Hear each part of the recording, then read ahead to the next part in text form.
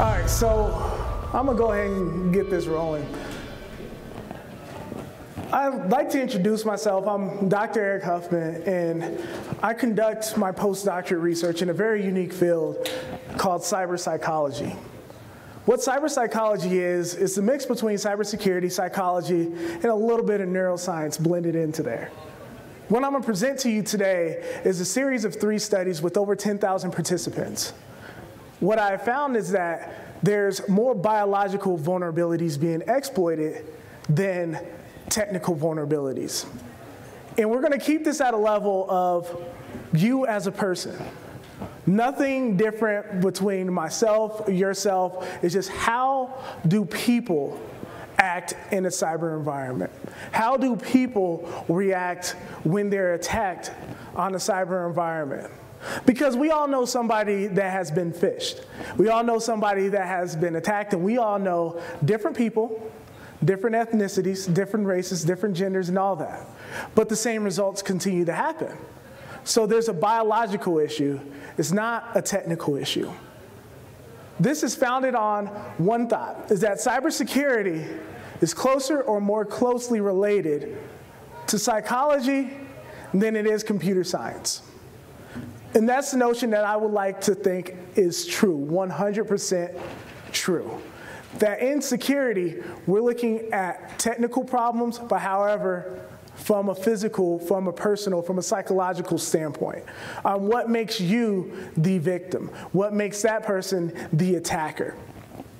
So, what, what we're talking about when we're talking cybersecurity, people throw the word around cyber all the time.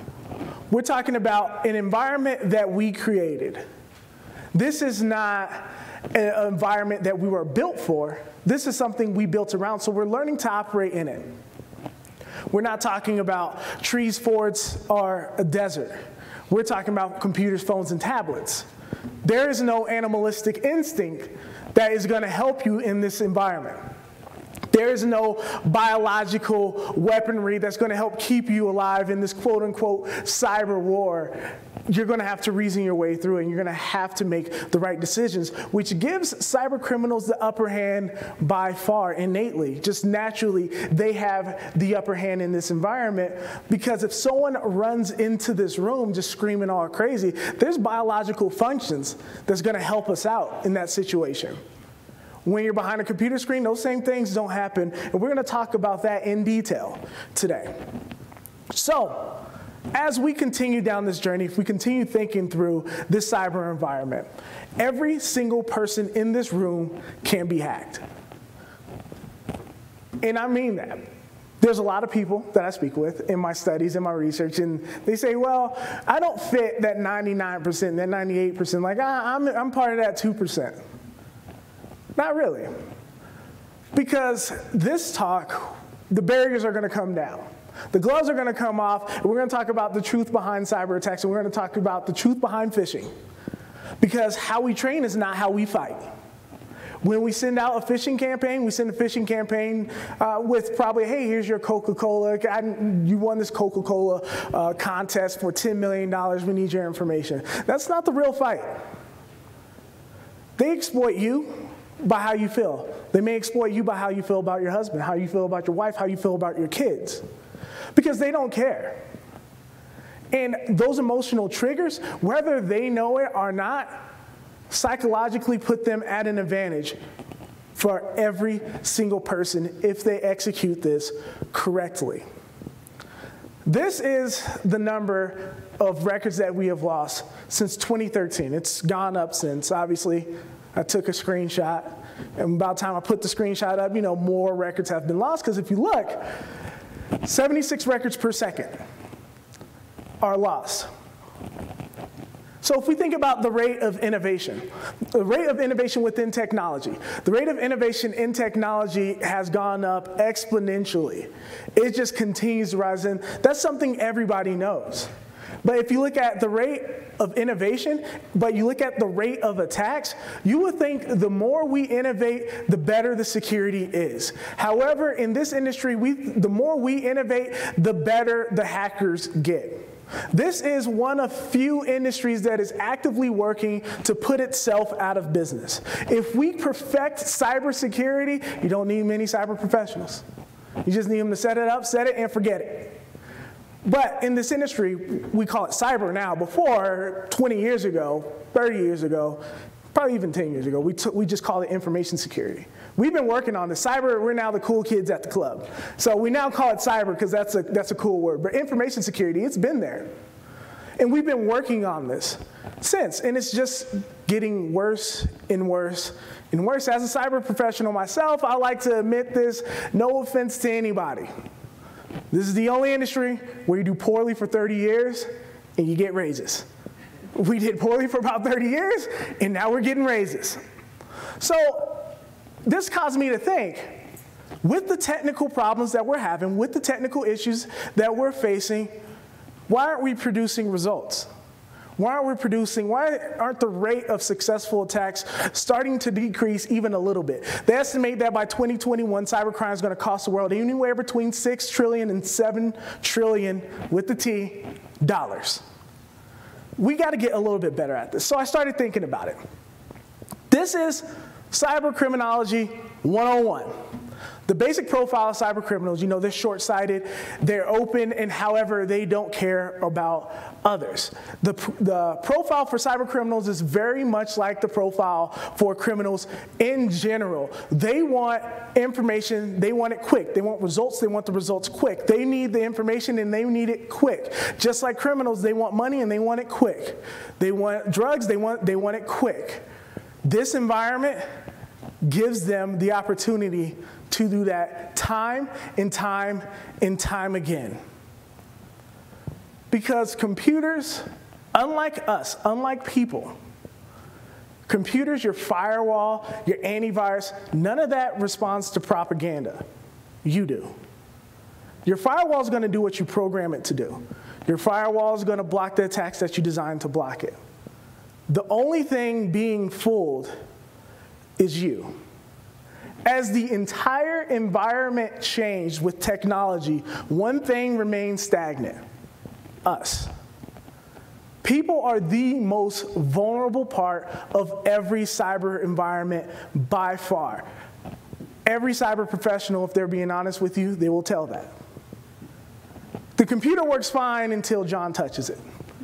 The computer works great until Dr. Huffman touches it. And then all of a sudden it breaks. And we need to understand what's responding to propaganda. And actually, if you look at a car salesman, they will tell you all about social engineering because they do it all the time. And if you ask yourself, do you actually respond to propaganda? Whenever I see a commercial for a really good steak, oh yeah. Yeah, marketing gets me. Emotionally, marketing gets me. And that happens for everybody. That's why it's a multi-million, sorry, multi-billion dollar industry there. Let's keep this going. How do you get influence? If we're talking about responding to propaganda, we're talking about influence, and we're talking about influencing behavior. What the cyber criminal wants to do, they want to manipulate your behavior, and they can do that by influencing you.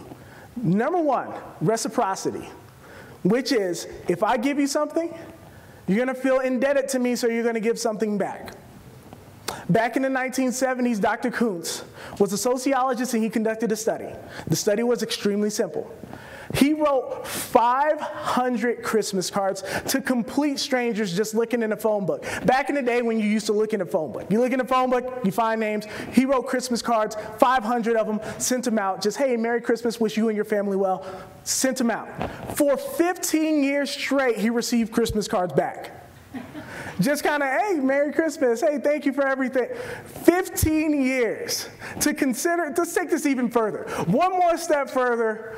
They did a study on service on fast food service, fast casual service, when a server comes and they, they give you your food, they give you your drinks, things like that.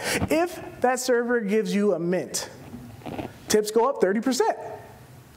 They gave you a mint, or if they give you part, if they comp part of your meal, if they say, hey, you know what, drink's on me, then you're going to tip more than what that drink cost.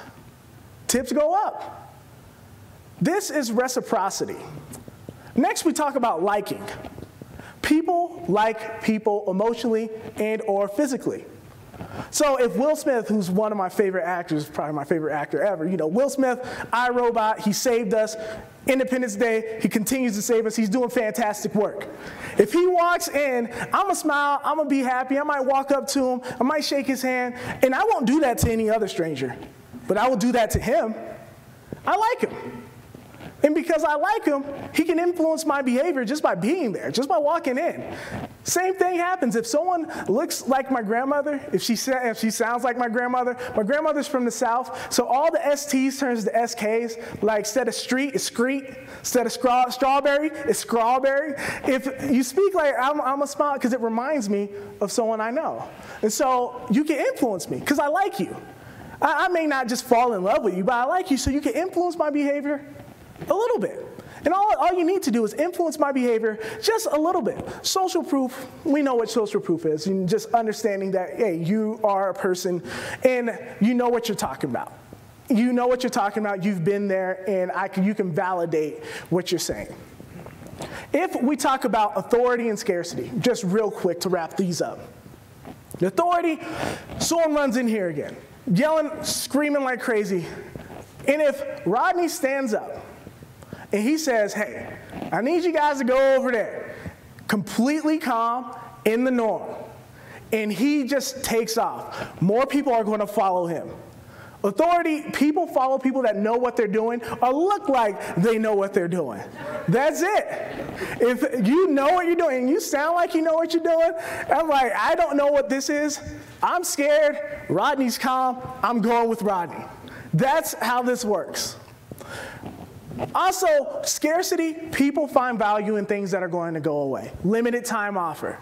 You know, limited time offer, there's value in it. I want it, I have to have it. So, what is going on after they influence your behavior? That, what they're doing next to you is completely mind boggling. We're gonna dig into this, and I'm not saying that cyber criminals are psychologists, but however, whether they know it or not, it is happening. It is happening, and it's happening time and time and time again. They give you information. They don't give you the entire story. They give you what lawyers call half truths, not lies, half truths.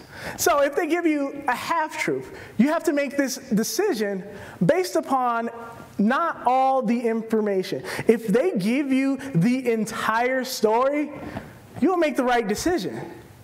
If I give you part of the story, I can influence your behavior to make a horrible decision. This all started off with me going to DEF CON in Black Hat.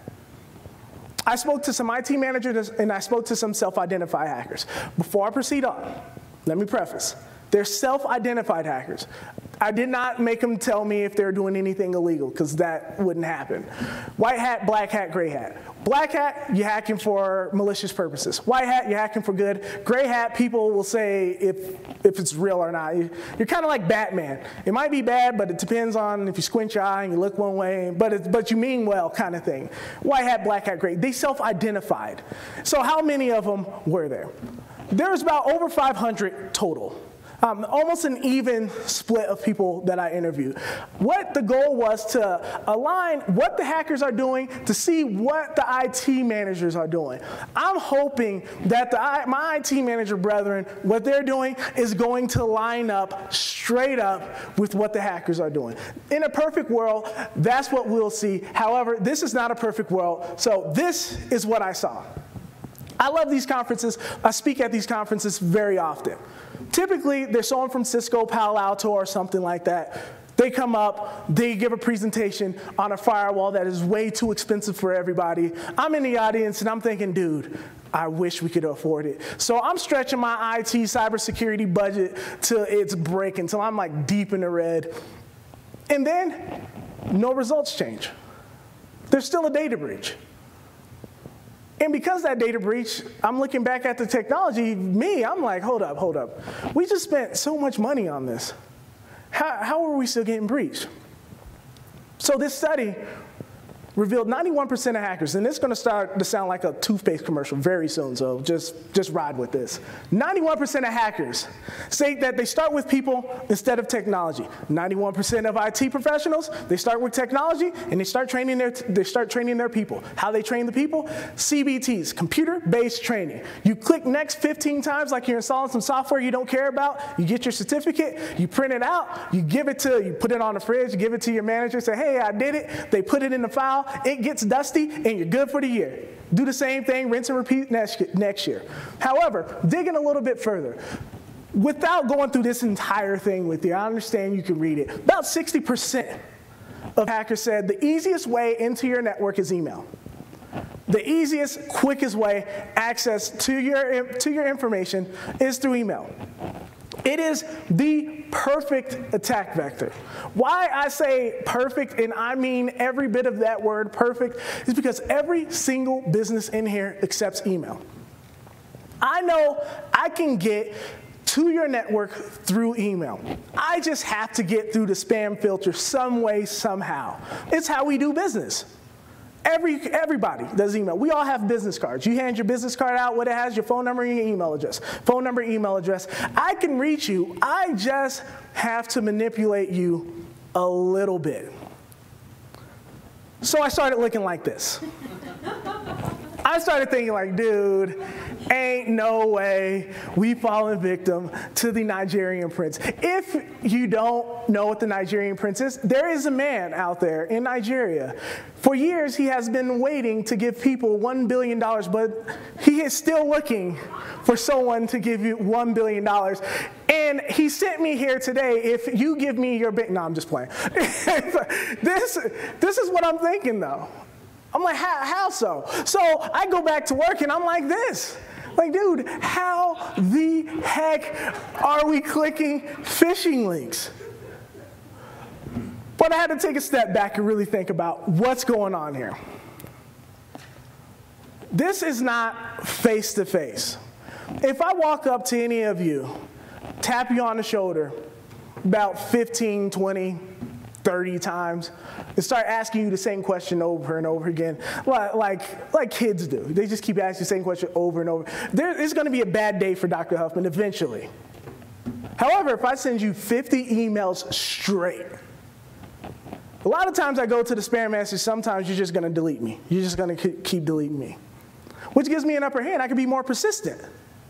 Because I can be more persistent, I can cater my attack a little bit more. I'm not getting physically attacked or getting the police called on me for pestering you. I can pester you from the comfort of my own home, and I can do it as many times as I would like to nauseum. Also, this environment creates anonymity. Granted, it may say john.doe at gmail.com, and you may think that's my name, but anyone can create that. Anyone can create that account. So you don't really know who I am, and I'm anonymous, and I can pester the absolute heck out of you without any ill will, not any negative connotation coming back towards me. This is the perfect environment to conduct something like this to influence behavior. But also, I can send one email out to millions of people all at once. I can just BCC everybody, say the same thing over, and cast a broad net. Is that the best way to do it? Not really. Is it the most efficient way to do it? Eh, you can argue. But could, can I do it? Yes. To people I don't know and maybe get one response out. So if I send 10 million emails, if I get two responses, it's a good day. If I continue to do that, even better day. This is the perfect environment to conduct something like this. This psychological deficiency that we're going to dig into, this is the perfect way and the perfect environment to do it. So let's nerd out for a second. I promise there's no math, but there is a test. No, there's no test. You have the limbic system. What the limbic system is, the limbic system is a part of your brain. It has fight or flight. It moderates fight or flight and feelings. You do not speak using your limbic brain. So as you're talking, you're not using your limbic brain, not even a little bit. But if you've ever been in a situation where something just doesn't feel right, like something's just off and you don't quite know what, that's your limbic brain helping you out there. Saying, hey, something is off, I just don't quite know how to say it. So, this is something everybody has. Biological function, fight or flight. Fight or flight, spoiler alert to you guys, it is not a choice. It's going to be an innate natural reaction. You're not going to think twice about it. You're going to shock yourself, one way or the other. I did not know I could run that fast, or I'm a lot tougher than what I thought.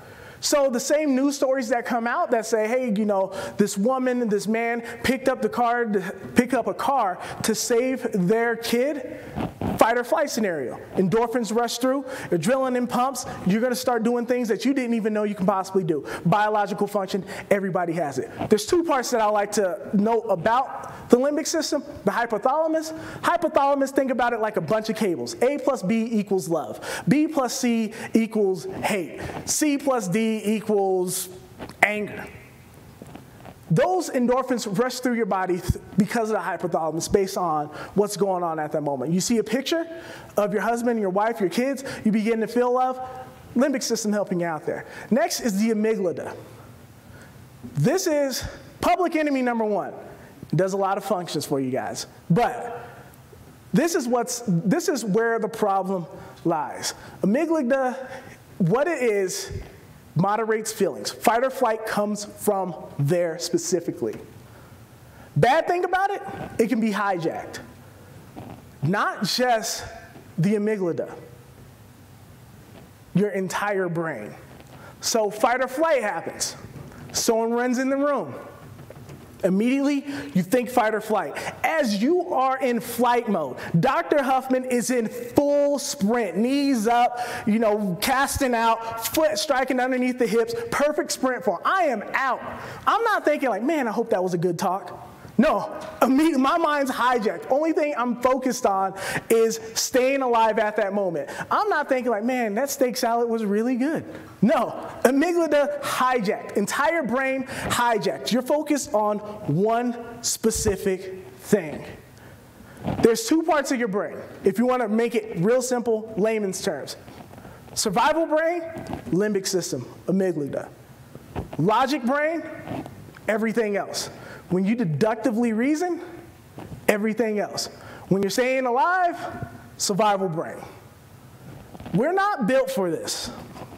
So if I was to influence your behavior and put you in hijack mode, you're panicking. Because you're panicking, you're focused on one thing and one thing only, and you're not reasoning. You click. This environment is prone for you to make this one bad decision. One single click. For one single second. I don't need to fool you for an entire day. I don't need to fool you for an entire week. I need 30 seconds. I just need you to panic. I need you to click. And this is everybody. I'm not saying, hey, because you're a cyber professional, you're a cyber professional and you're not prone for this. You don't have an amygdala. Yeah, you do. Yeah, you don't have a limbic system. Yeah, you do. Every single person has this. We all can be hacked. Tell me I'm wrong. So if you're in an environment, a couple things happen. Phishing email comes in. You do not see a face, you do not see a, a picture or a video or anything. You simply see a name. When you see a name, think of your husband, your wife. You see it, you begin to feel love, you begin to feel happy, then you start reading. However, when you start reading, you start reading in their voice. That's the default. The default for them in your mind is their voice. Think from cyber criminal perspective.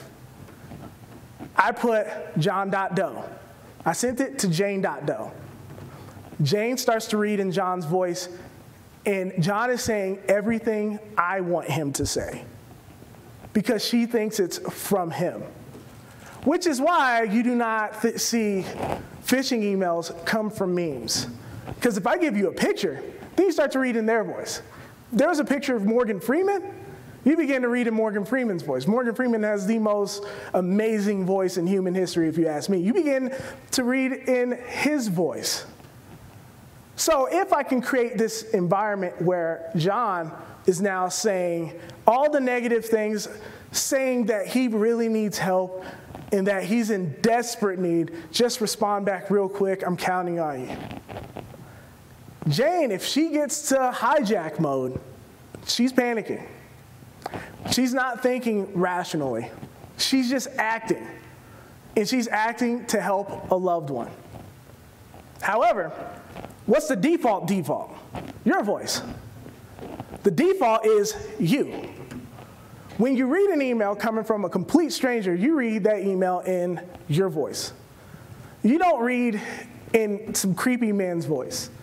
You don't like imagine someone in their mom's basement, just like Mountain Dew everywhere, Cheeto dust, dude has a Kool-Aid mustache, just rock and roll playing in the background, wearing a Slayer shirt. You don't read in that voice. That's not the default. The default is your voice. And you trust yourself. I trust myself.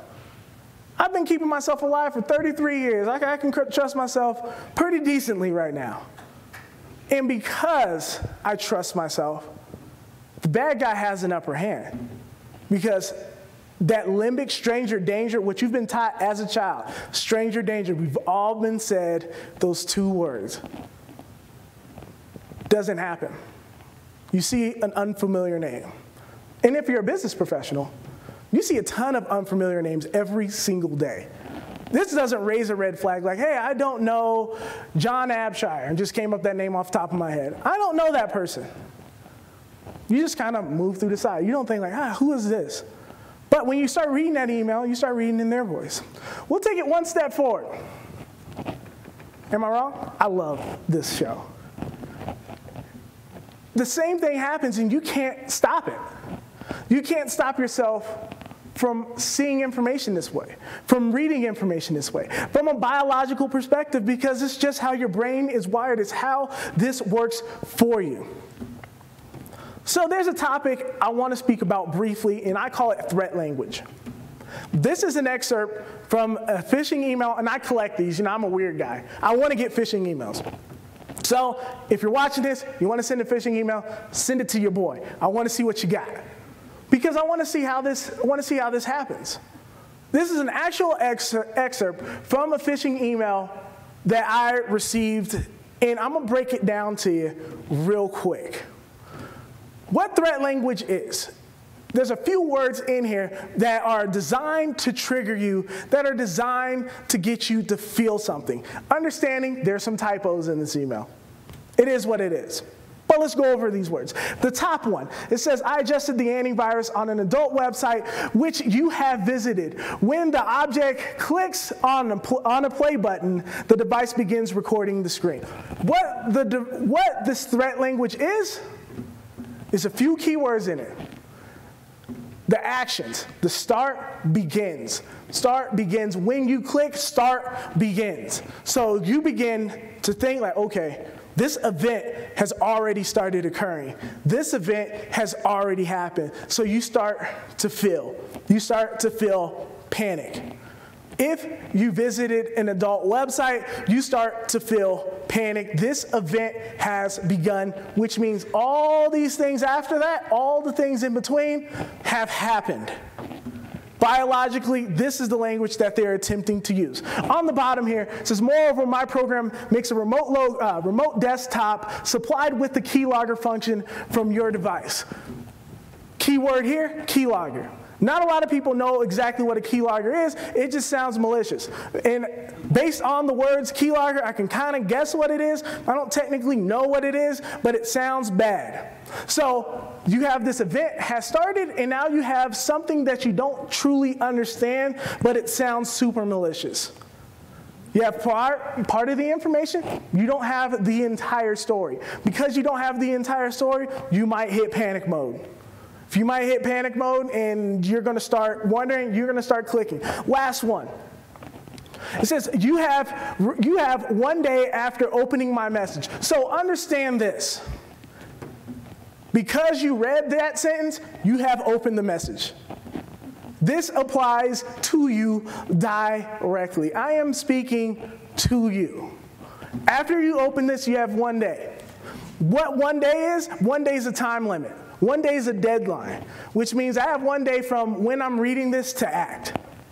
So I may not think, I might, I might want to take some time to overthink this. However, if I hit panic mode, I, I, there's no time.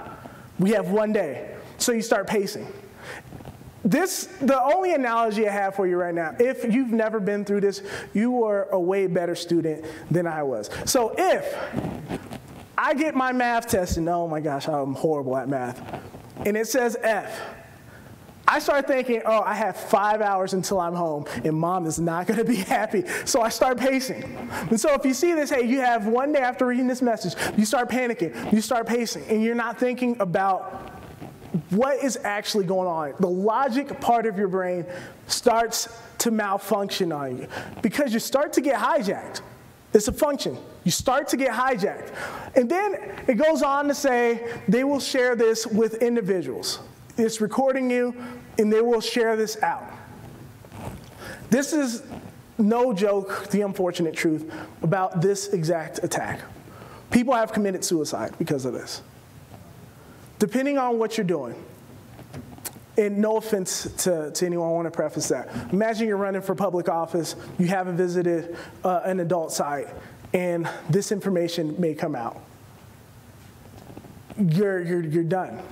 Or imagine you're in a situation where your husband or your wife says, hey, next time you, you visit these sites, we're done. I, I see this as, I see this as a, a variant of cheating. And this is coming out. You don't have the money to pay. You panic. For those exact reasons, people have legitimately committed suicide over this exact attack. Talk about hijacking that's hijacking to a level I can't, I can't articulate. I've never, I've never been in that situation, thankfully. But if, you, if these individuals that have understand they're not thinking rationally. Going forward through this talk, one thing I want to dispel. We have created an environment that we start saying because you clicked a phishing link, because you've been phished, you're stupid. No, it's not the case. You're not, you're not stupid. There's functions here that are being exploited. Humanistic, psychological functions that are being exploited perfectly. Not because these guys are linguists or anything. Obviously, you know, there's, there's a typo right down there, second line from the bottom. And then they use your, you are. However, none of that matters.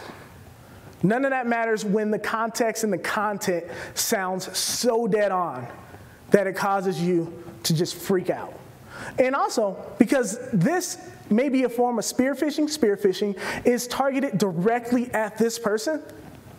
You don't know this hacker, you know, they might be lazy. To see your, to see you are, you know, if you go on Twitter, you go on Facebook, there's plenty of times.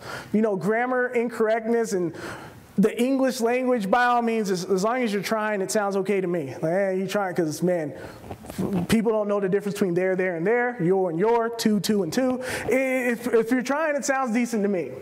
But let's continue on. Very last one with threat language here. It says, Our spider detected five deadly Trojans in your mailbox today. If left unchecked, this can lead to total email shutdown. So if, as a, as a business owner, as a small business owner, you have someone that is protecting your data, and this comes from them, it seems like it's coming from them, but obviously the message may be off when analyzed uh, totally. But it says, hey, there's, there's been Trojans on your inbox. You may not understand exactly what a Trojan is. This, again, is putting you in a situation where you don't know all the, all the information. Total email shutdown today in the business world is horrific. Total email, I need to prevent anything from happening from total email shutdown. These are the languages that they're using, the words that they're using to target you. How are they targeting you specifically? Reconnaissance. Recon is data collection. There's two types, active and passive. Active reconnaissance is going out to actually manipulate data, unlock data, find data to, to touch it somehow and manipulate it and work with it or contact somebody to get that information. Passive is just checking online what you're putting on your social media. If you put something on your social media, anything you say can and will be used against you. The better I know you, the better I can trigger you. If I find out your kids' names, oh, I can use that. If I find out who you shop with, man, I can use that. If I can find out who you do business with, I can definitely use that against you. So, how does this work? If they're going to conduct this attack, what are the phases involved into this? Comfort zone establishment? So I'm going to ask a simple question. Who see email as a formal setting? Just by a show of hands. Who thinks email is formal? Me neither. A good friend of mine, uh, she was, uh, she was the, the librarian of the school I was a dean at. We send memes every day. I don't, I don't know if we said a word to each other in a couple years, but we just send memes every day, back and forth. Email is not formal. There's, there's times where you become hackable, there's times where you're not hackable. When you're in a formal setting, like me right now, standing up here, I'm focused totally on my talk. I'm focused on the information because I really want to do a good job. If someone comes up and says, hey, Dr. Huffman, can I get your social security number? No, no, no, not, not now. Now's a very bad time to do that. The more comfort you are, if you're in your comfort zone, if you're just relaxing, I can manipulate this. I can manipulate where you are right now. If email is a formal setting, and I asked this very same thing at NASA, I asked this very same thing at the University of Maryland, all everywhere. No one raises their hand. You're, you're just in the majority right No one raises their hand as, hey, email is very formal. Well, you're comfortable. And because you're comfortable, I can establish this. I just need to get you comfortable with me. The setting is comfortable. I need you to get comfortable with me. What's next? Engagement. Engagement's reaching out, talking to you. Like, hey, how's it going? Uh, I enjoyed our conversation at the Cybersecurity Summit in Colorado Springs. So let's, let's continue this conversation. Because if I just look online and I can see a list and see who's there, I can give you that proof that, hey, I was there and like, hey, I, I met a lot of people that day. I don't quite remember that name, but I met a lot of people. Let's, uh, let's, continue, let's continue this conversation. Next, you attack and then you confirm your attack. And that attack can occur in a multitude of ways. It can be spear phishing, it can be a Trojan, it can be ransomware. Anything I can send and attach in an email, anything can be done. One of, one of my good friends was at Texas A&M, and he gave me a quote from the neuroscience department. And the quote is, the more I know, pretty much creativity, well, the more I know, the better and more creative I can get. The more I know you, the more creative I can get when exploiting you. The more I know you, the better and the better targeted this attack can be. So if I don't know you at all and I'm casting a broad net, like, hey, if I'm gonna send that email out to 10 million people, I'm gonna get less results. But if I target you specifically and I get creative with it, the higher your success rate. And that continues to be a trend. Because they want to create a digital footprint or a digital fingerprint of you. And everybody has a digital footprint. What a digital footprint is? You and everybody attached to you. Because in these conferences, one thing I love is because I love to give presentations and just nerd out with people that would be willing to listen to me. However, a lot of times you're preaching to the choir. Some people, they, you're here because you want to know this information. You want to get more secure. You want to be a little bit better off today than you were yesterday. So you're good. If you're good, I may not be able to exploit you, but what about everybody around you that's attached to you? I'm a football fan, so I'm gonna give this football analogy, and I gave the same one at TED. I do not want to target the cyber guru directly if we're playing football and I'm the quarterback. I'm not going to hand the ball to the running back and have them run directly at J.J. Watt, who's like one of the best defensive players in the league right now. We're not going to do that. We can still get first downs. We can still score touchdowns by going around, away, or even passing the ball. They can still get to you, but they may, may, may not be able to target you directly, but your business partners. The military has seen this a lot. The military is hacked not frequently, but when they get hacked, a lot of times it's through a third party. A third party gets hacked, so they get military information. The OPM breach. OPM got breached, they got military information. It's not you, it may be your partners. So they're creating that digital footprint. So what this follow-up study did after DEF CON?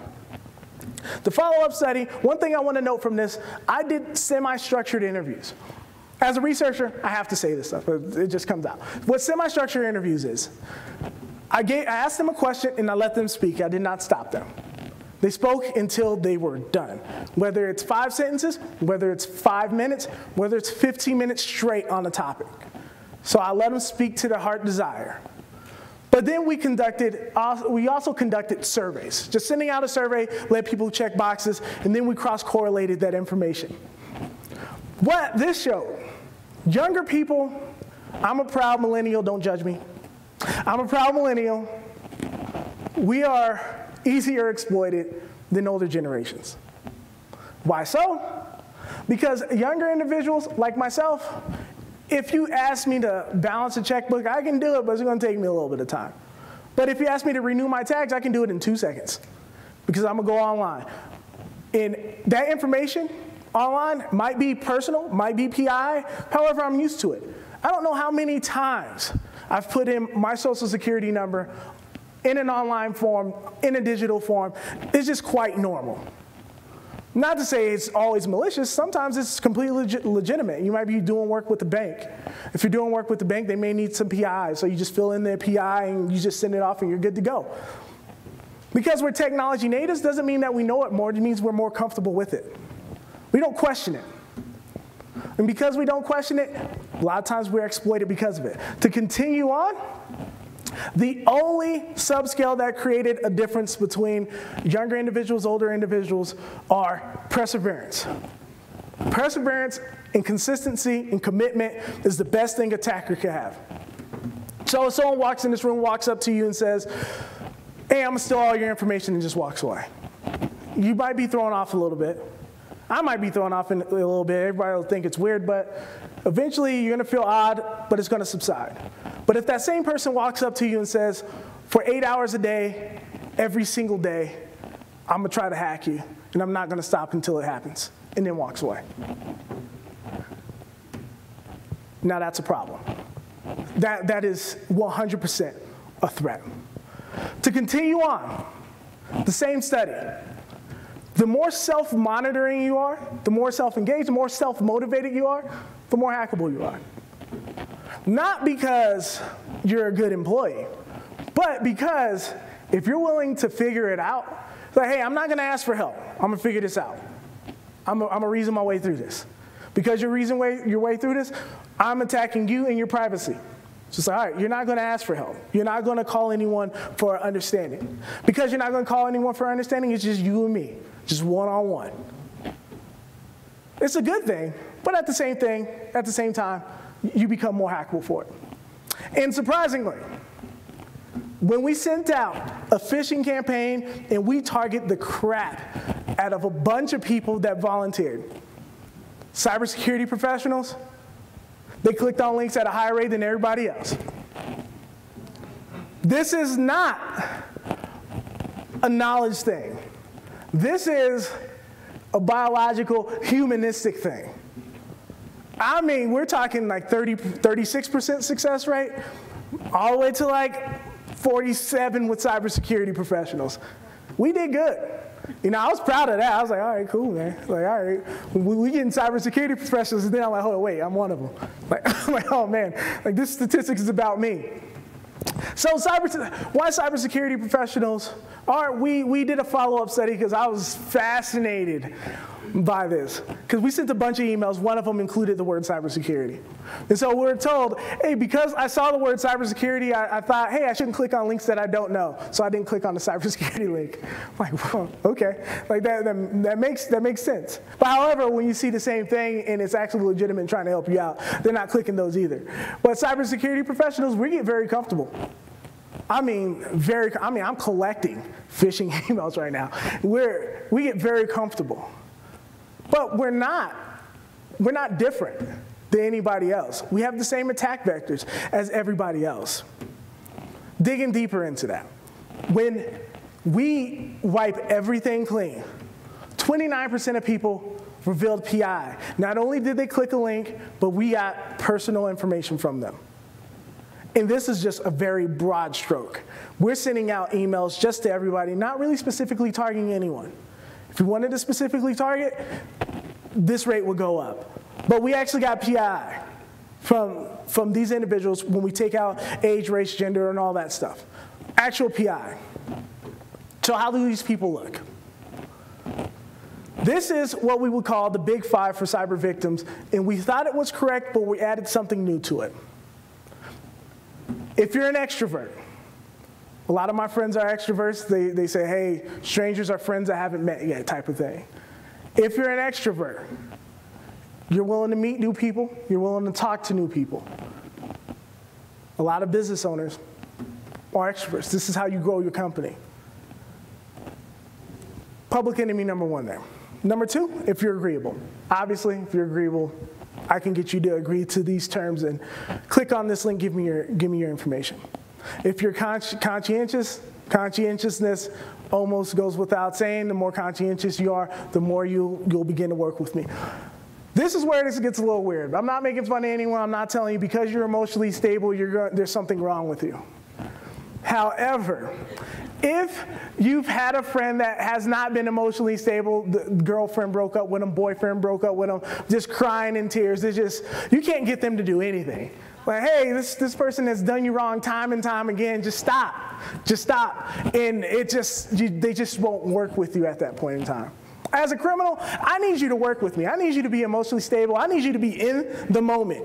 We need to get this done. We need to get your PII on my computer as quickly as possible. Imagine you're, you're sending a phishing email out and they reply back, but man, let me tell you about Joanne. She did me so dirty. Like, oh, come on, dude. Like, come, work with me here. Work with me here. Click, click this link. Well, you know, Joanne sent me a link. Oh, geez, come on, man. Like, this is not working out for me. The more emotionally stable you are, the more more you are willing to work with a criminal. Not that there's anything wrong with you, this is just the personality traits of a cyber victim.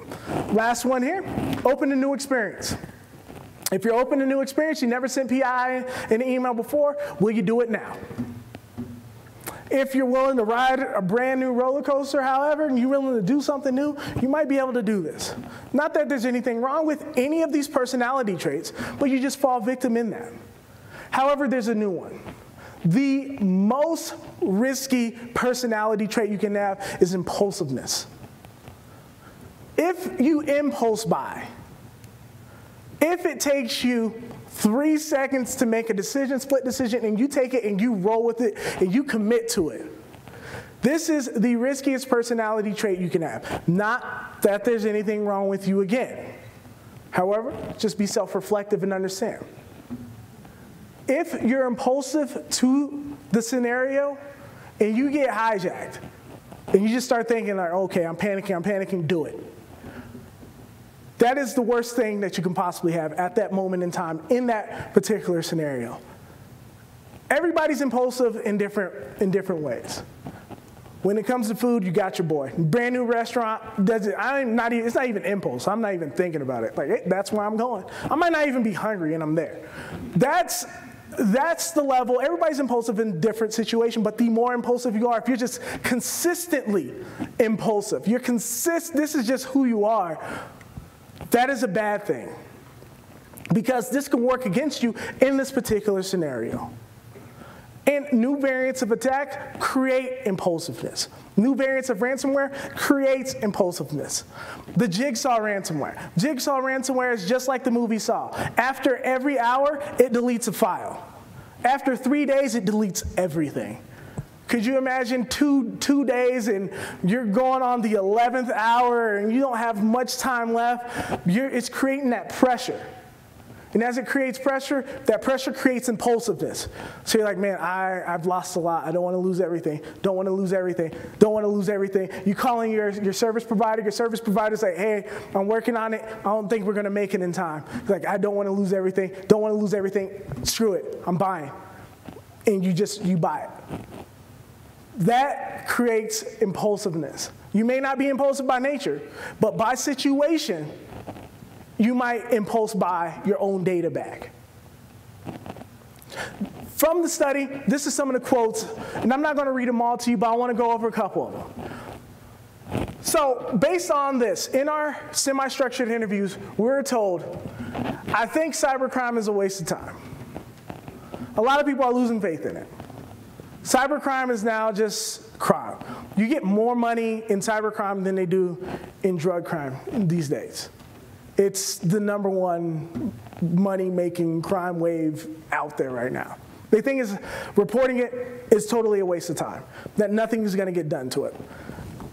The fourth one now, if I report a cyber attack, it would damage the company's reputation. That goes hand in hand, that gets tied to something else that we like to call where individuals get that comfort zone, that comfort vector, and also they do not want to harm the company.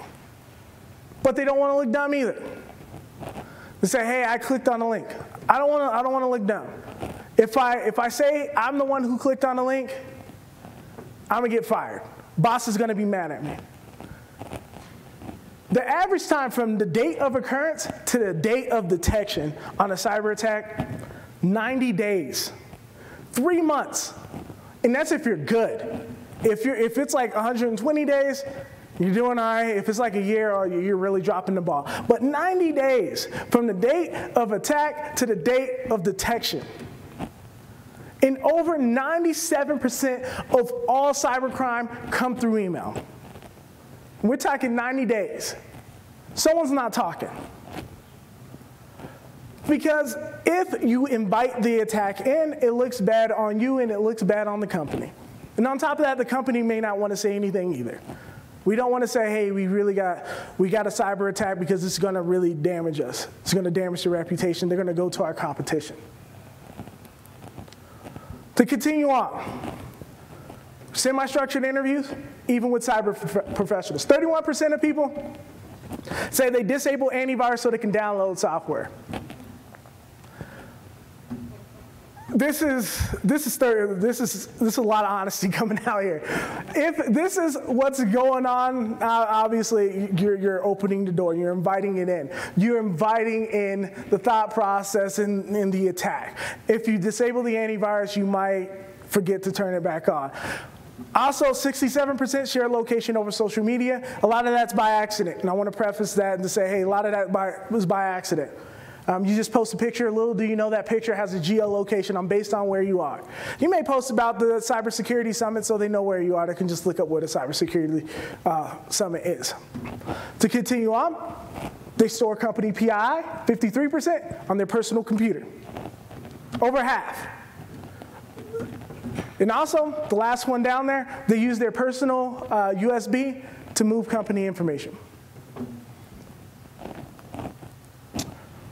So we did another study. We cross-correlated this information here. We wanted to really dive deep to figure out why, how, and when. So, quick, layman's terms, we had two groups. We had one group, we said, hey, here's your username and your password. We wrote it down, um, and you'll have that information for you after a couple days or something like that. Another group, we say, hey, here's your username and password. Good luck to remembering it. You have a few minutes with it, memorize it. We're going to take it away. You're good to go. Bye. The group that had to memorize their password did significantly better than the group that had to get writ- that had to have it written down. Because when we brought those people back, we said, hey, what's your password? Simple question. What's your password? Write it down, recite it. So they wrote it down. The people that had it written down for them, most of them could not even come close to recall it, at like a 70% failure rate, that they could not recall that. So this goes to show if your password is written down, you're not memorizing it. If your password is stored in your head, you're going to memorize it. But we are starting to move away from passwords. Microsoft, in Microsoft Server 2019, they stated that your password expiration policy was useless. It's turned off by default. You have to turn on password expiration policy now. When before, every operating system before then, that is the default. Your password is going to expire after 45 days, 60 days, something like that. What Microsoft said is that because your password expiration policy, if it's like 60 days and someone stole your password anyway, that's way too long. And what they found is if there's no password expiration policy and we give you a password similar to what we did, if we give you a password and say, hey, you have to memorize this, you'll come up with a more complex password and a harder to break password that way. But we're moving towards biometrics. That's what we're doing now. And we're creating an environment now. What if your face ID is stolen? The biometrics from your face, what if that's stolen? What happens then? You can't change your face. You can't Nicolas Cage someone's face and put it on your face like this is my, like you're my password now. Like look at me, you're my password now. Like no, that, that doesn't happen. We're creating passwords that are not changeable. Your thumb, your right thumb, what if that gets stolen? You got nine more left and that's it. Because after your password is known, there's one thing worse than ABC123, our password being your password. That is a password that I know. Because it can be as complex as you want it. It can be 50 characters, all special characters, even a poop emoji at the end. If I know it, that doesn't help you at all. I know it. So, this is what it's coming down to training we're doing this wrong. We host, we have a lot of people that ask us for phishing campaigns. They say, hey, we like what you're doing. We love the research. Can you, can you phish us? And so we ask a few rules. Say, hey, what's the rules? Can we attack families? And they're like, I don't know if we, we want to do that. Like, can, can, can I spoof your kid's name? Yeah, I, I don't know if we if we want to do that. So I'm like, all right, so, so what can you do? Attack the firewall. Dude, like, that's, that's not how we fight. That's not what's going on. You know, in the military, they say train how you fight. And that's what we need to do train how we fight. So, what most phishing campaigns look, look like? They fish everybody. You know, they send maybe the Nigerian prince, maybe something a little more targeted about the company. You click on the link and they say, hey, no, slap your wrist. You need to take this computer-based training.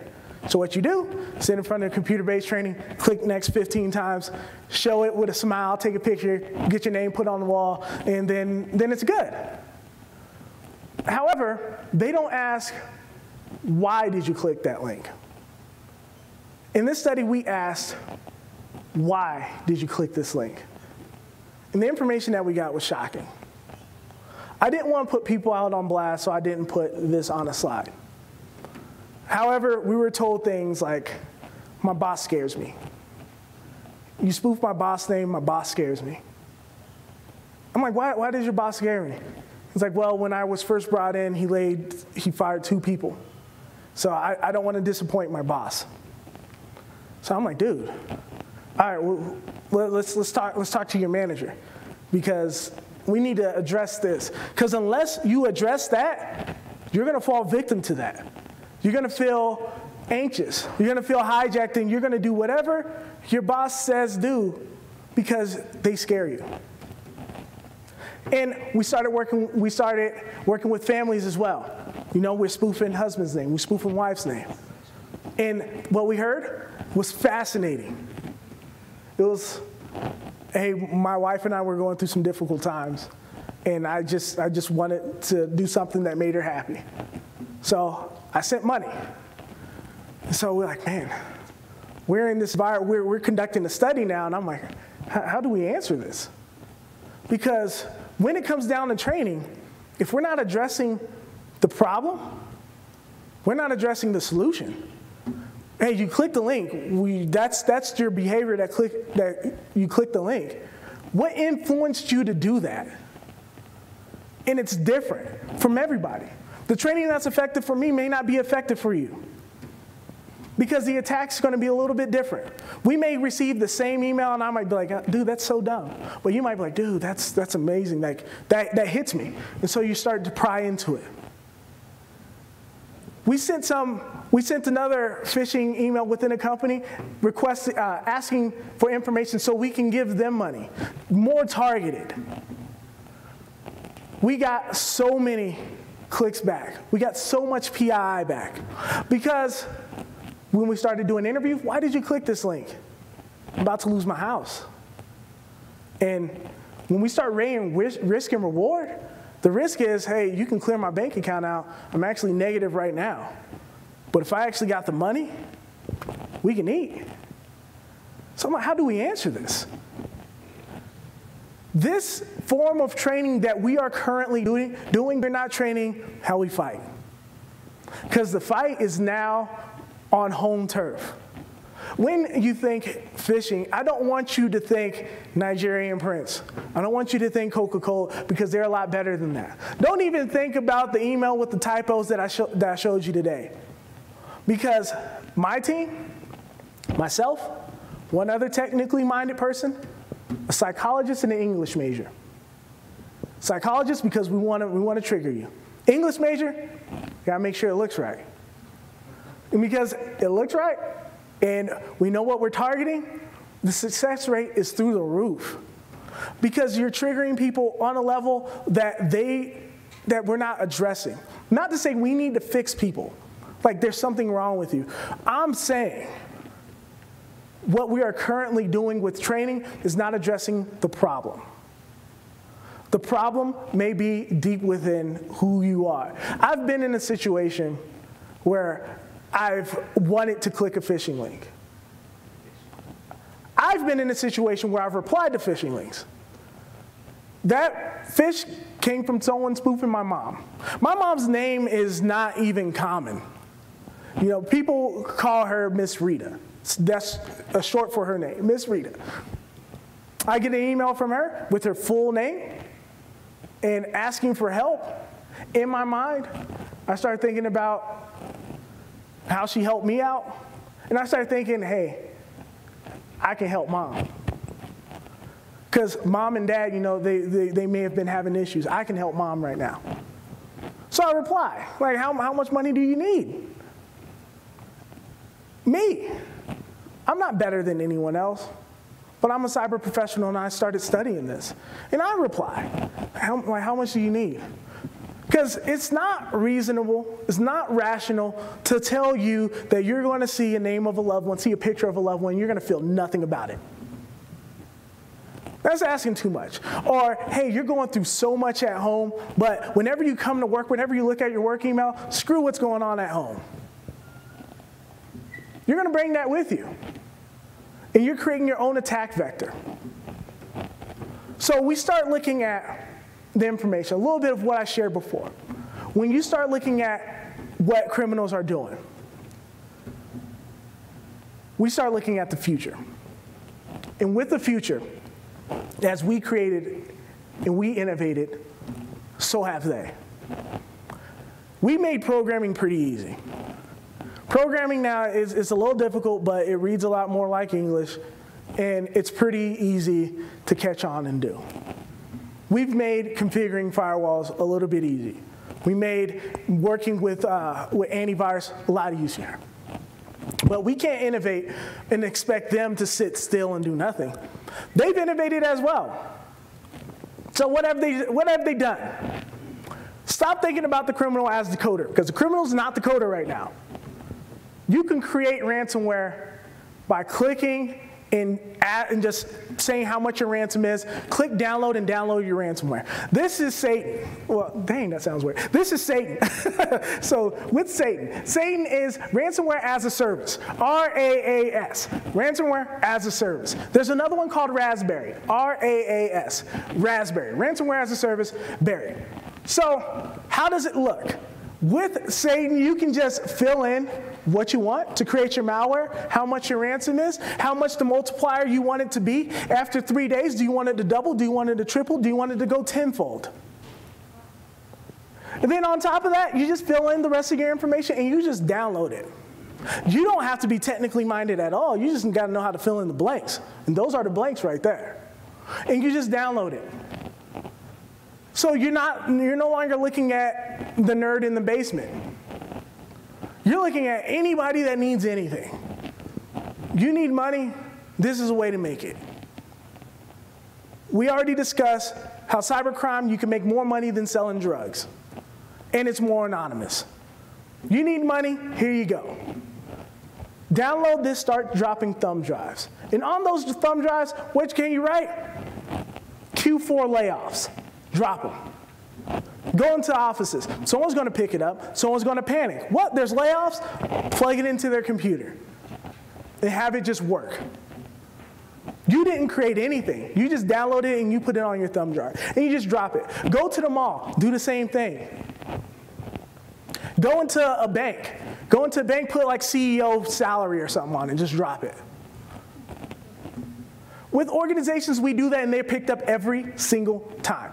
Every single one. Like 100% success rate. They pick it up, they look at it, and they may plug it in. They may think when we interview back, we ask, hey, why did you plug that in? It's not always like, hey, I'm worried about layoffs. It's like, no, nah, I just need to know who to give this back to. Even if we write nothing on. It's like, hey, I just need to know who to give this back to. I want to give someone their thumb drive back. I'm just trying to help. The same way you're trying to help is the same way you can break into almost any facility with a box of donuts. If I'm holding a box of donuts or some pizza, and I say, hey, can you hold the door open for me? Who's going to deny donuts? You look, not this boy here. Who's going to deny donuts? Not, not many people are going to do that. It's that helpful attack vector. Train how you fight. You're, help, you're, you're helpful, not because you're helpful, you're a bad person. You're helpful because they're exploiting you now because you're helpful. And with this, this is making this hacking stuff extremely easy.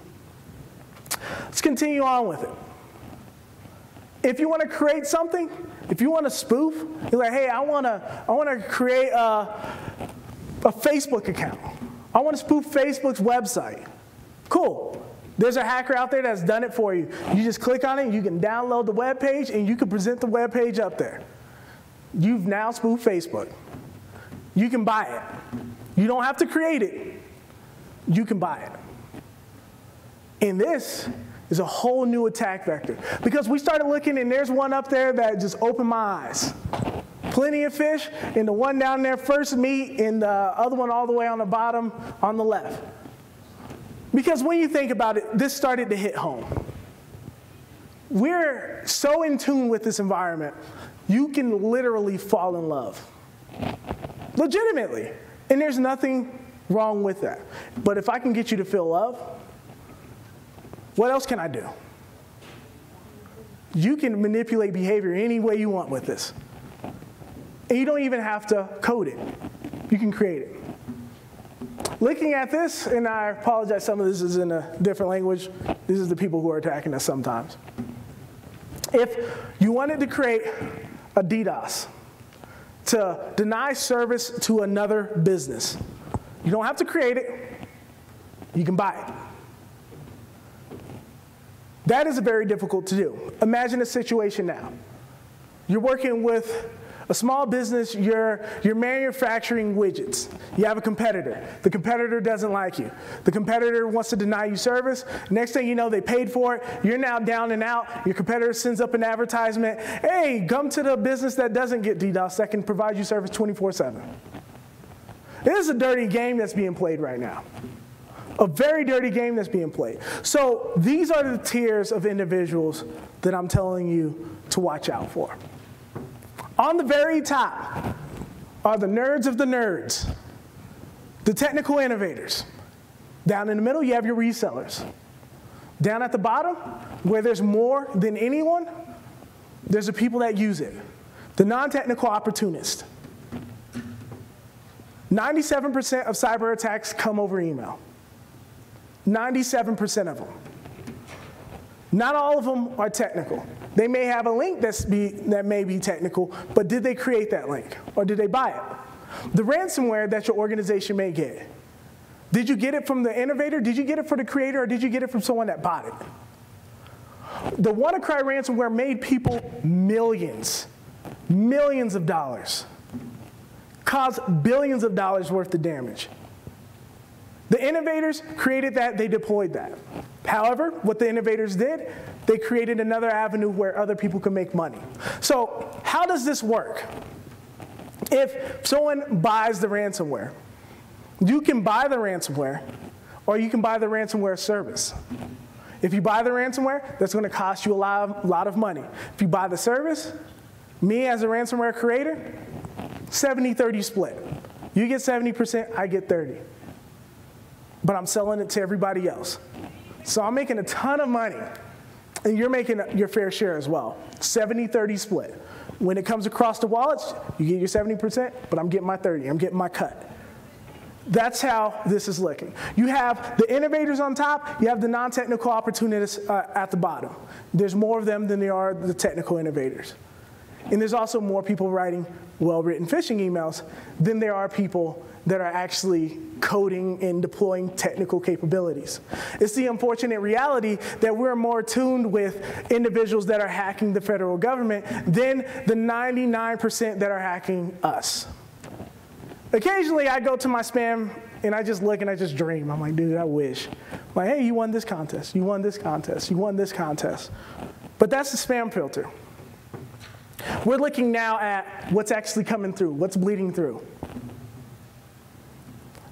And as this information bleeds through, we start to blame the technology a lot more. Say, hey, why didn't that get caught by the spam filter? If that didn't get caught by the spam filter, like that, there's something wrong with that. I worked at a school. And as a school, I was, I was the dean there. We had an individual that clicked on a link and then went to another computer, clicked on the same link, went on another computer, clicked on the same link. And I'm like, what the, like, what's going on? Like, well, the computer slowed down. The computer just began to slow down. I thought it was from Amazon. I'm like, dude, like, crap. And I'm looked at it because I received the same email. And I'm like, all right, this Amazon email, like, this is the same, same one I got. Or like, however, I, I don't worry about Amazon too much. However, she buys a ton on Amazon. I don't. And so it affects her differently than it affects me. Doesn't have the same weight, doesn't have the same impact. It's based on who you are. Trust is the foundation for security. If I trust you, I give you access to information that you may not typically get access to. If I trust you, I may let you watch my kids or watch my house while I'm out of town. If I get you to trust me, you can certainly send me any information that I ask for. You can certainly send me any kind of money that I may ask for. There's a new attack vector that I didn't address up here. It's called deep fake or deep voice. What deep fake is, what deep voice is, it transfers your voice into someone else's voice, where you start to sound like them. And so when you hear me on the other end of the phone, you're not hearing Dr. Huffman, you're hearing Chris Rock. Yeah, you're hearing Chris. Man, Chris Rock would be a hard one to fake. But yeah, you're hearing Chris. You're hearing Chris Rock. And so, as you hear that, it's no longer fair because you're getting the vocal validation as well. Like I was on the phone with Chris Rock. He told me there's tickets, and so he asked for my credit card information, tickets to the new show. This is not going away. They're playing on that emotion. They're playing on that even more so than, than you would imagine.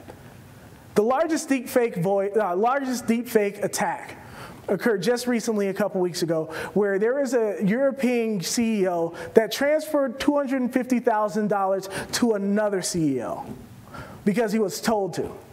It was a company that was owned by another company. So the CEO of the parent company asked the CEO of the child company or the sister company, hey, can you transfer me $250,000 for these purposes, and then uh, I will, I'll reimburse you the money back. The CEO get the call. What the report says is that that voice even had the slight German accent that the, um, that the uh, CEO had, the original CEO would have. Transferred $250,000 and was going to do it again, but didn't get reimbursed the first time, so he was like, nah, I'm not transferring the second time. It's horrible what's going on. So I'm going to leave you with this. Understand that the 90% of the problem comes through email. And you're not clicking links because you're stupid. You're not feeling the way, you're not feeling like a victim because you're stupid. We've seen the big five are now the big six for cyber victims. A lot of people fall right into line of those. I mean, they're playing on you because you're helpful. They're playing on you because you're comfortable. And this attack vector is not going to die down because email is the perfect way to get to any organization because you're going to accept email. And so it's me, spam filter, then you. And if I get your email address legitimately, and I can send you an email legitimately, spam filter is not going to help you. I'm already in. I'm already in the door. And so from there, I can do anything I want. I just need to get access to your computer, then I can pivot anywhere I want into the organization, and there's not much that you can do about that. This is a situation when I was an IT manager, it was for a very, very, very large organization. And we would just get attacked over and over and over again. And we had multi-million dollar defenses set up. It was like Fort Knox. We're protecting PHI and we're protecting credit card data very well. And I would get calls like, hey, what are you, you guys are doing well. I'm like, dude, we just had a data breach. But they didn't get everything. They got everything. What are you guys doing? Because once you get in, that perimeter security, there's nothing that it can do for you. They're in. They're in. They just got to get the information back out. And understand that it's 90 days from date of detection to the date of occurrence. Imagine if we all go to a mall today and they say, hey, you have three months. I mean, we would have the carpet ripped out of that place. Three months. And that's average. Cybersecurity is more closely related to psychology than it is computer science. Until we understand and respect that, we have a long road ahead of us. Thank you.